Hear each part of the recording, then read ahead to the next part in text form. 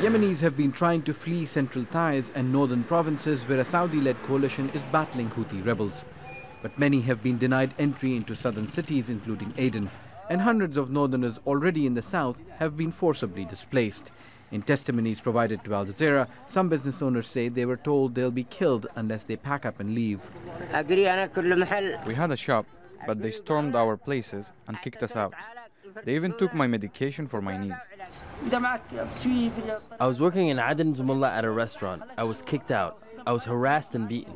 I urged them to fear God. They confiscated all stalls which belonged to northerners. This is my mother. They took all our money. Human Rights Watch says Yemenis with northern backgrounds face difficulties entering Aden at checkpoints, sometimes held for hours, questioned, occasionally turned back, or called derogatory names.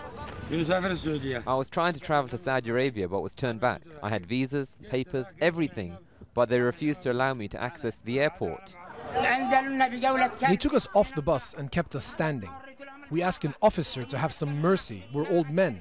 But after he saw the ID, he said, You're an old man, and I don't want to put you in jail, but I don't want you in Aden either.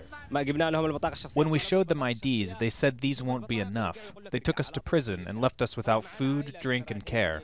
They said they would hold us for a little while and then they would deport us.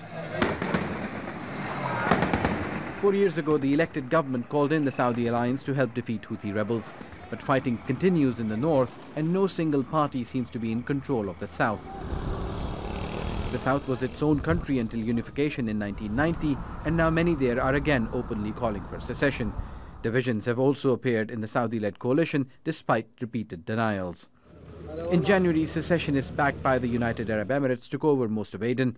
They took it from the forces of the internationally recognized government, which is ironically supported by UAE's coalition ally Saudi Arabia. And as the old cracks reappear in war torn Yemen, its people find themselves stranded between competing interests. Osama bin Javaid, Al Jazeera.